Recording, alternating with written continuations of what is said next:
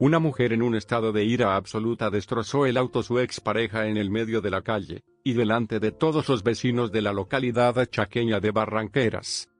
El hecho ocurrió el mediodía del domingo 14 de octubre en el barrio 75 Viviendas. La secuencia violenta fue registrada por otra mujer que parecía encontrarse dentro de otro vehículo. En el video, que dura más de 40 minutos, se puede percibir cómo la atacante rompe todos los vidrios del vehículo, las luces traseras y cómo provoca abolladuras en una de sus puertas.